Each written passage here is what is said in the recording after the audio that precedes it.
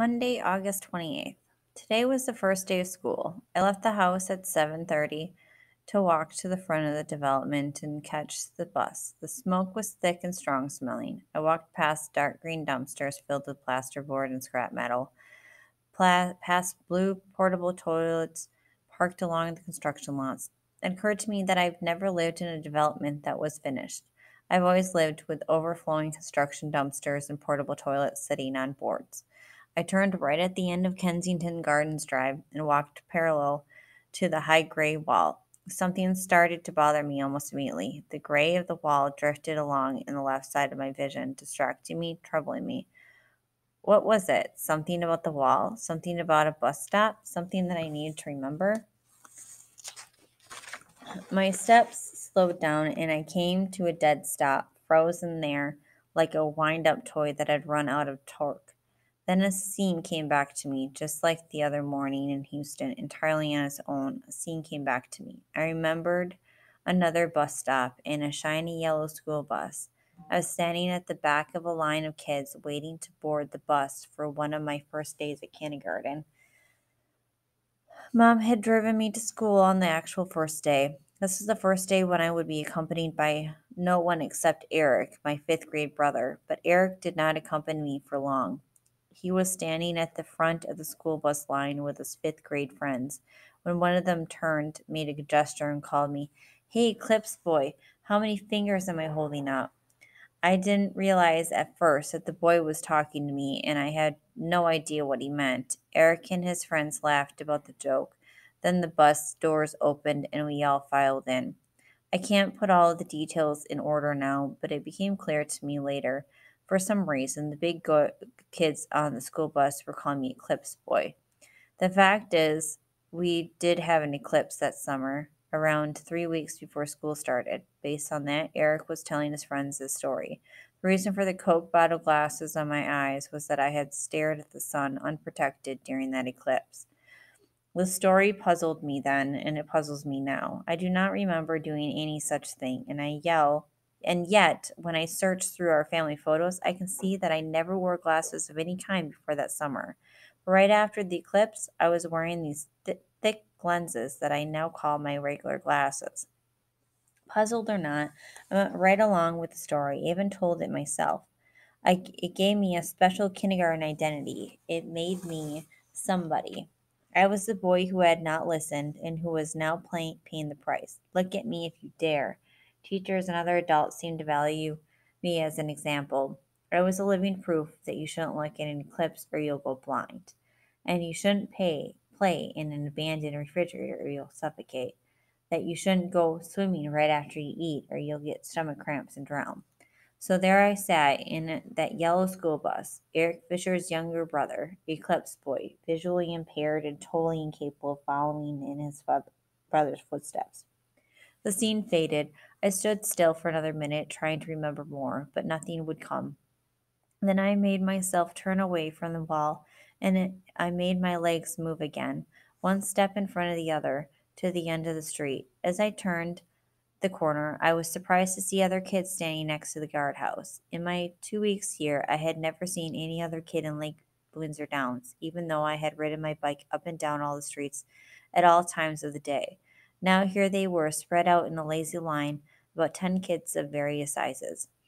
I quietly took my place at the end of the line next to a guy who was slouching so badly that I thought he might actually fall over. He wasn't alone either. Everyone seemed to be depressed, to be sorry to be there. I wondered if that was just an act or if they really didn't feel any excitement about the first day of school. What's up, goalie? I turned, startled to find that someone was standing right behind me. I hadn't seen him coming. It was Joey Costello.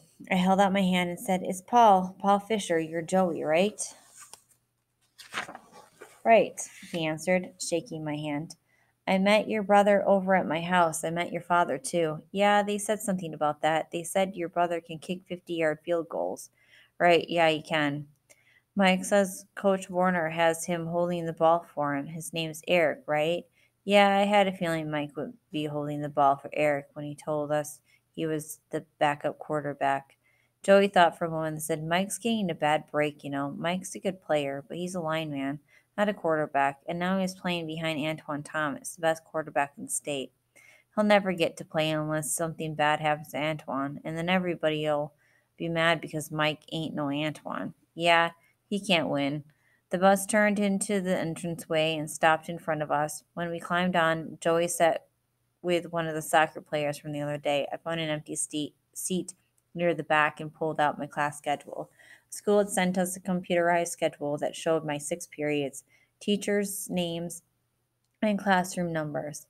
With the schedule had come a map of the high school, middle school campus, which I appreciated, and a handwritten note to mom from Mrs. Gates, which I did not. It said vision impaired students should report to the office for assistance. That made me mad. What did she plan to do? Assign me a dog and a cane?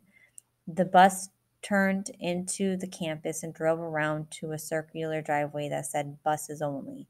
I looked again at my schedule, feeling jittery, and said homeroom 815 to 825, portable 9. I moved along with a big crowd of kids circling the main building and funneling into the wooden walkways that led to the portables. I found the one that said P9 with no problem whatsoever. There was a green sign on the door that said Miss Alvarez. I climbed the three wooden stairs and opened the door. Miss Alvarez gave me a cheery good morning and told me to find an empty desk. The class seems to be made up of the same type of droopy kids that had stood with me in the bus line. On contrast, Miss Alvarez had a lot of enthusiasm. She told us that she was truly excited to be here on the first day of a new year. She went on to tell us that we're that were her first homeroom ever and that she's looking forward to starting each day with us. We sat there and stared at her without much reaction, but she smiled bravely th- through it, and we passed the first 10 minutes of the school year together. She asked us to all take out our schedules and check them. Mine said science 8:30 to 9:25, portable 12. Miss Alvarez read some announcements from a computer printout, but there was nothing about the soccer team. The speaker in the room crackled to life with the sound of a going of a gong being struck. This was our signal to funnel out again onto the wooden walkways. We had four minutes to get to our next class, but it took me less than one. I climbed up a set of stairs marked P12, where the green sign said Mrs. Hoffman. Mrs. Hoffman was standing right inside the door, scowling and holding a seating chart. She is clearly at the under, other end of the teacher food chain from Miss Alvarez. As she would soon tell us, she has been teaching science for 20 years. She asked my name and then directed me to the last seat in the first row. The kids in the room seemed a little more lively. Just five minutes into Mrs. Hoffman's class, there was a knock on the door. A girl came in holding a block of wood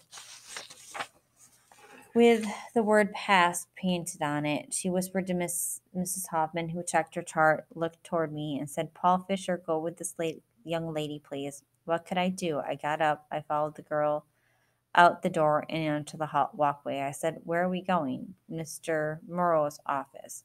Who's Mr. Murrow? He's the head of guidance. We went to a small office inside the main office. A man with a brown suit and thick glasses like mine was sitting at a desk. He had a pile of those IEP forms spread out in front of him. He said, What is your name? Paul Fisher, sir. He found my IEP form. All right, Paul, this is Carrie Gardner, one of our school volunteers. Carrie will act as your eyes, so to speak, until you've learned your way around our campus. I can see fine. She, he seemed genuinely surprised. You can? Yes, sir. I've been to two classes already. Mr. Moore looked back at my IEP form and then at me. He said, Well, perhaps since you're new to our school, Carrie could just take you around for the first day. What harm could that do? I don't know what else to say.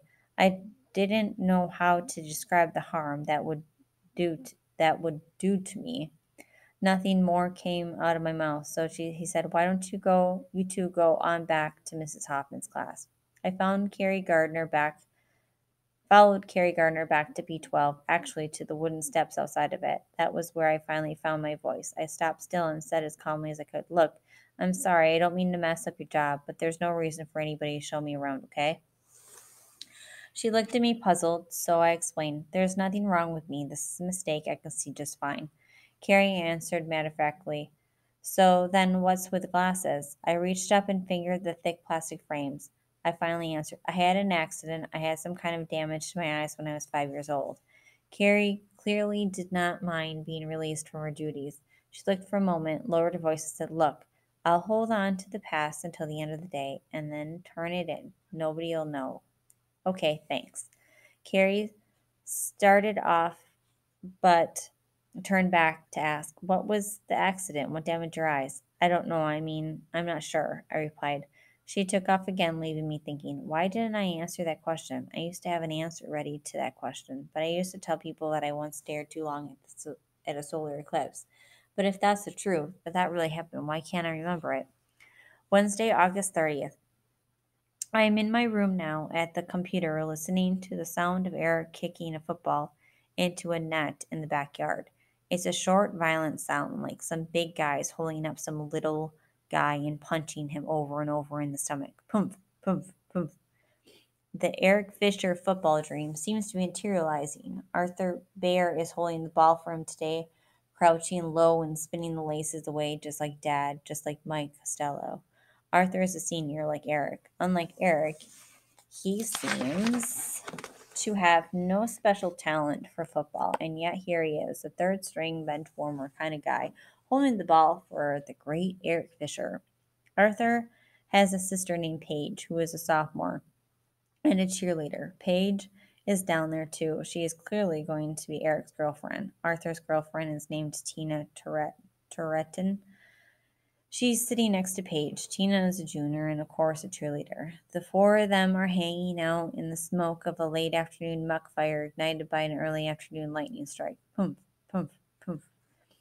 Mom has already done her research on Erik's friends. She pumps him for information over dinner every night, and she tells he tells her whatever she wants to know. Arthur and Paige Bauer are the yellow Stewart with the brick front. Their father is a building contractor and major in the Army National Guard. They moved in three years ago. Tina Turretin is the white York like ours, but with avocado trim. She's only lived here a year. There's a strange foursome sitting back there in the smoke. Basically, they pay no attention to each other. The girls are on the cement patio, sitting at the redwood picnic table during homework, doing homework. The girl, the boys are on the grass, kicking the ball into the net. Boom, boom, boom. I guess Paige and Tina want to date football players, so those two will do. Erik and Arthur want to date cheerleaders, so those two will do. I watched them all pull up to the house in Arthur Bauer's truck. Then I hurried upstairs. Arthur has a white Toyota Land Cruiser that he's jacked up and put big tires on for mud running. That's what they do around here. They take their jacked up cars out into jacked up trucks out into the swamps and mud run. When they can't do that, they run up and down the dirt road behind our wall, the perimeter road. Arthur's truck has a big spotlight mounted on top at the center of the windshield so he can go mud running at night. Now he can take Erik mud running and he can take Erik to practice and he can take Erik wherever else Erik says to take him. You see, Erik doesn't drive. Can you believe that? One of the greatest things about high school is that you can drive all by yourself. You're free. But Erik doesn't drive. He has never even expressed an interest in driving. Tell me that isn't strange.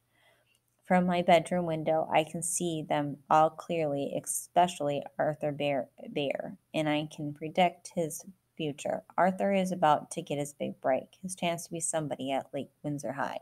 Let's face it, Arthur Bauer is no Mike Costello. He is not the backup quarterback to Antoine Thomas. He has not already been accepted into FSU's School of Engineering. He has never really accomplished anything until now. This is his shot at the big time. He will somehow, with Erik's help, beat out Mike Costello for the job of holder on place kicks. It will be Arthur's backside featured in the newspapers holding the ball for Erik Fisher's 50 yard field goal attempts. According to Joey Costello, Arthur has never even gotten into a game. Now he'll be out there with the crowd when the crowd is roaring and the cameras are flashing and the game is on the line. What will Arthur do for an opportunity like that? for that kind of fame and glory? What will Arthur do for Erik, his sponsor, his benefactor, his ticket to the big time? Let's face it, he will do anything. He will do anything that Erik asks.